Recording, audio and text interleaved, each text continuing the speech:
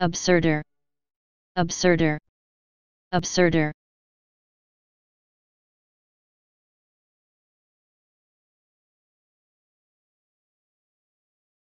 Please subscribe and thanks for watching.